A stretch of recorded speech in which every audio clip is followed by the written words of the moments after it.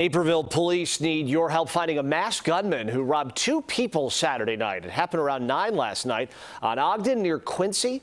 A masked suspect in all black brandishing a handgun approached the two victims, took their cash and their cell phones before speeding off in what's called a dark colored SUV. No one was hurt during that incident.